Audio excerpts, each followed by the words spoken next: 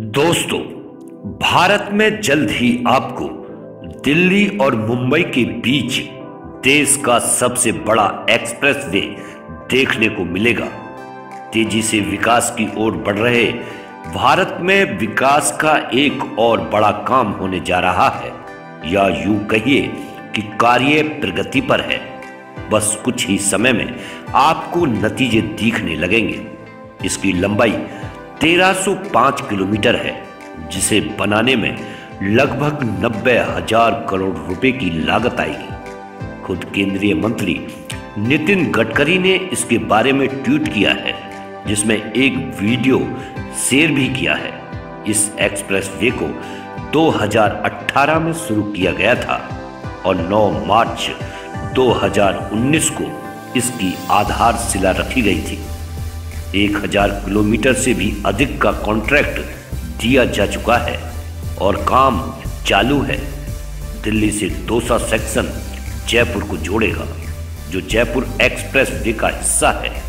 और बड़ोदरा से अंकिलेश्वर का सेक्शन इकोनॉमी हब भरूच को जोड़ेगा। ये दोनों सेक्शन इसी साल, यानी नवंबर 2021 तक शुरू हो जाएँगे। जनवरी 2023 तक ये पूरा एक्सप्रेस वे बनकर तैयार हो जाएगा।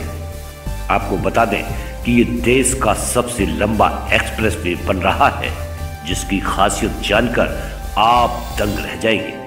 आइए जानते हैं एक्सप्रेस वे की खासियतों के बारे में। इस एक्सप्रेस वे के बनने के बाद दिल्ली से मुंबई के बीच की दूरी करीब 130 किलोमीटर कम हो जाएगी। दिल्ली से मुंबई जाने में लगने वाला समय 24 घंटे से घटकर 12 घंटे रह जाएगा।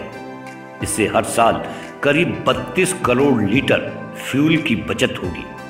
इसकी वजह से सालाना करीब पचासी crore kilometre carbon dioxide oxygen का उत्सर्जन घटेगा, जो चार करोड़ पेड़ लगाने के बराबर है। एक्सप्रेसवे के पास तीन अंडरपास होंगे। और पाँच ओवरपास। इस एक्सप्रेसवे बनाने में पाँच लाख टन से भी अधिक स्टील लगेगा, जो करीब 20 हावड़ा ब्रिज के बराबर होगा। करीब 50 करोड़ क्यूब मीटर ज़मीन को मूव किया जाएगा, जो 60 लाख ट्रक ट्रिप्स के ज़रिए होगा। इसमें 35 लाख टन सीमेंट लगेगा, जो देश के कुल प्रोडक्शन का करीब एक फ़ीसदी है। इस एक्सप्रेस वे से लगभग 50 लाख मजदूरी के दिन पैदा होंगे, जिससे हज़ारों लोगों को रोज़गार मिलेगा। काम में तेज़ी लाने के लिए एडवांस टेक्नोलॉजी का इस्तेमाल हो रहा है, जिसमें ड्रोन से सर्वे किया जा रहा है। ये एक्सप्रेस वे कुल पाँच राज्यों से गुजरेगा, जिसमें दिल्ली, राजस्थान, मध्य प्रदेश, गुजरात और महाराष्ट्र शामिल हैं। यह एक्सप्रेसवे जयपुर, किशनगढ़, अजमेर, कोटा, चित्तौड़गढ़, उदयपुर, भोपाल, उज्जैन, इंदौर, अहमदाबाद और सूरत जैसे इकोनॉमिक हब के लिए भी शानदार कनेक्टिविटी मुहैया कराएगा। यह एक्सप्रेसवे पाँच साल में बन जाएगा, जो काफ़ी तेज काम है। तो दोस्तों, ये जानकारी आपको पसंद आई होगी। आप अपना प्यार और सहयोग यूँ ही बनाए रखें। धन्यवाद।